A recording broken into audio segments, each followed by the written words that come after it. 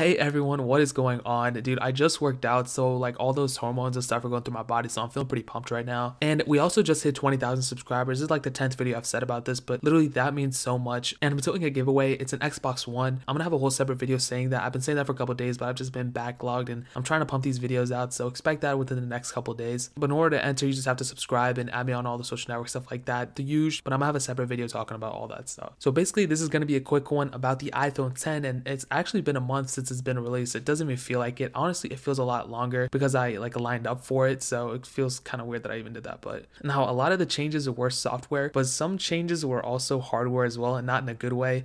A lot of people have cracked their iPhone 10s because there is glass on the back. So I would say do yourself a favor and get a case. Apple makes some pretty decent ones. I use the Apple case on my daily driver. So I mean, I would highly suggest you guys to get one. I'll leave some links in the description for some. Get a screen protector as well. You might as well might as well cover both glasses, you know, on the body. But beyond that, there were several iOS updates as well, including the cold fix. That's kind of what I called it. It's called something else. But basically, what happened was some iPhone 10s wouldn't work when they were cold, when it was like cold outside. Let's say it was like sub like 30, I don't know, it was cold, and you whipped out your iPhone 10 and you were like messing with it, it would become unresponsive when it was cold. But apparently, it was a software issue, so Apple went ahead and fixed that. So that's not a problem anymore. So when you get an iPhone 10, make sure you're updated to the newest version. And also, more apps are updated for iPhone 10 as well, including Google Maps, and that one took a long time to update, and several other ones as well. I don't know if Gmail is updated yet, but but tons of apps were updated to suit the iPhone 10. But I wouldn't really expect anyone to get burn-in yet. It's only been a month, so it should take longer than that unless you're intentionally trying to cause burn-in on the panel. And the cool thing is the iPhone 10, the iPhone 8, and the iPhone 8 Plus all support fast charging now. So finally that's supported. Um, I think Apple talked about it in their keynote, but